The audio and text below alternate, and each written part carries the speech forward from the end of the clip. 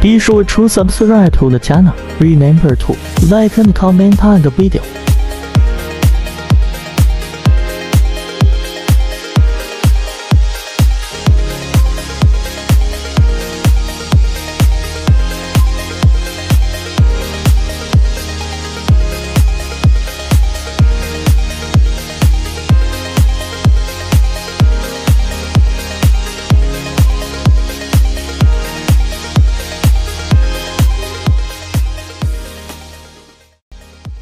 Please leave like and suggestions here. I need your suggestions and support to create more multimedia installations.